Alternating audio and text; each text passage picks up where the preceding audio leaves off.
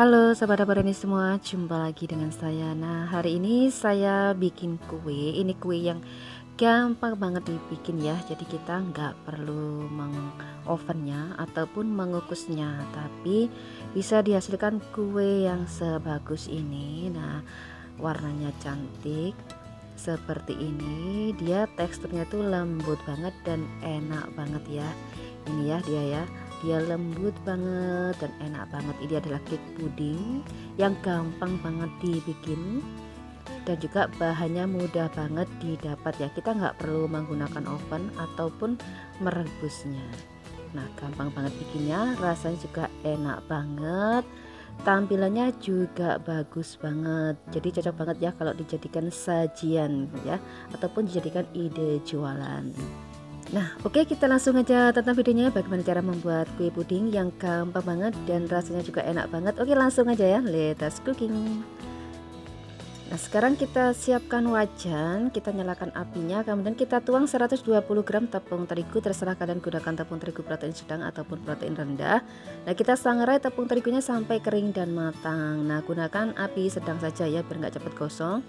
Nah, diaduk terus ya supaya tidak gosong kita aduk terus. Nah kurang lebih seperti ini kering.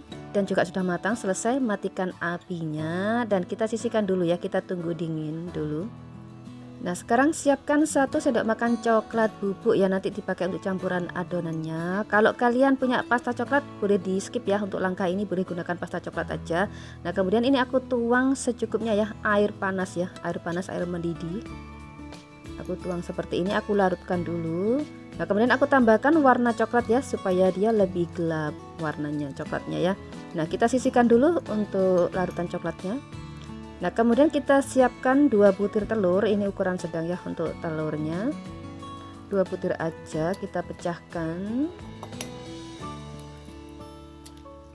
Nah, Kemudian kita tambahkan 165 gram gula pasir. Nah cukupan ini manisnya. Kemudian aku tambahkan satu sendok teh vanila cair kemudian aku tambahkan setengah sendok teh garam. Kemudian aku tambahkan 2 sendok makan margarin atau butter. Ini aku gunakan butter. Nah kita mixer semua bahannya sampai gulanya larut.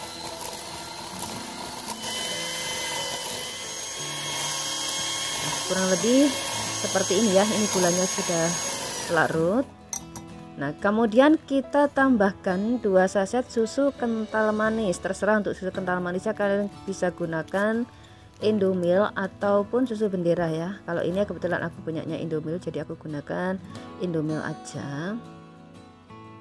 Jadi aku gunakan 2 saset kayak gini aja. Nah, kita rapikan dulu untuk pinggir-pinggirnya ini kita kumpulin semua di tengah. Kemudian aku tambahkan juga tepung terigu yang sudah disangrai tadi ya. Jadi aku tambahkan bertahap gini. Nah sambil aku gunakan mixer. Jadi diaduk dengan kecepatan sedang saja. Pokoknya bisa tercampur rata gitu ya. Jadi kita masukkan bertahap. Nah kurang lebih seperti ini. Selesai kita sisihkan dulu.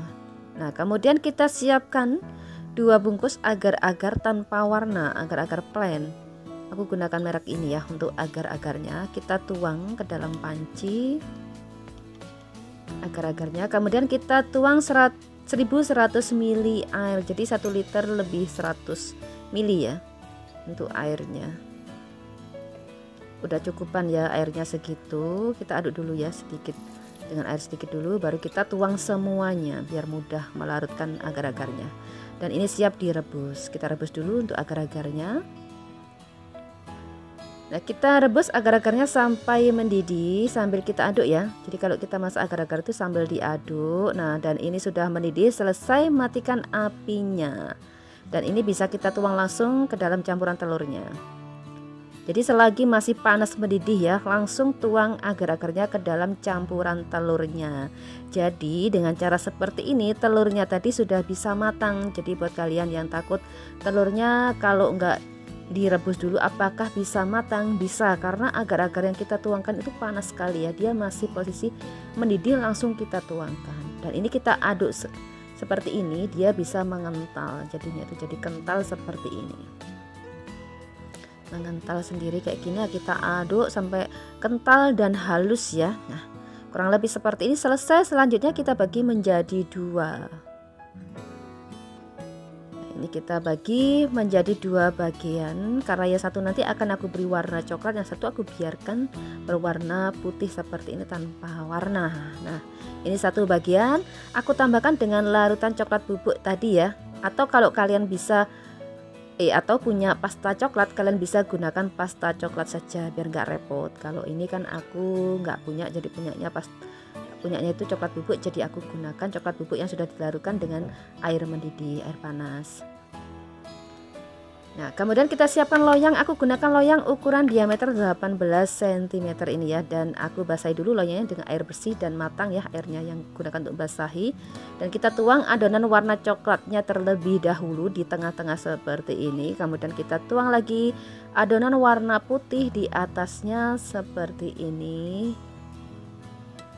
Jadi kita tuang bergantian ya. Coklat putih coklat putih seperti itu. Nah kita tuang lagi adonan warna coklatnya. Nah lakukan terus ya bergantian sampai adonannya habis. Dan ini sudah selesai dituang semua dan kita bisa sedikit ratakan ya. Agak digoyang-goyang dikit gini kemudian kita ratakan. Karena bikin ini tuh harus cepat ya. Waktu dia masih panas itu harus segera dituang. Kalau enggak nanti dia akan cepat mengeras jadi memang harus agak cepat dikit aja gitu. Nah kita istirahatkan sampai dingin dan mengeras ini ya kuenya.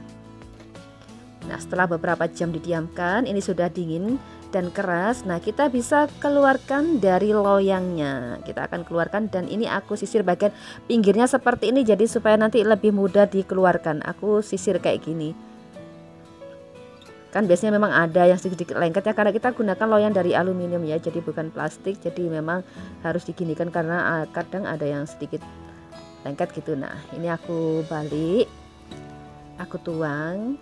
Nah kita lepaskan loyangnya. Kita wow hasilnya cantik banget.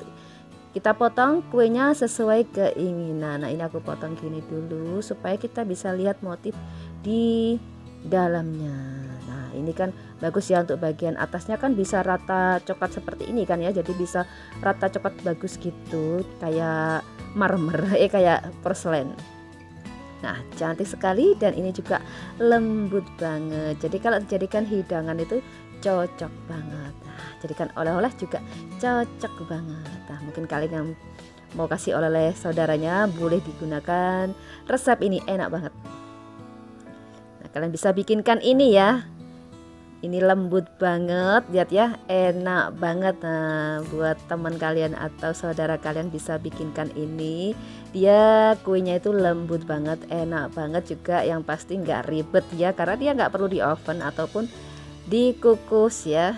Cukup seperti ini sudah jadi kue yang enak banget. Nah, cukup mudah bukan membuat kue puding. Nah, silakan dicoba ya. Semoga cocok dengan resepnya. Terima kasih sudah menonton video Dapur Heni. Semoga video ini bermanfaat dan sampai ketemu di video berikutnya.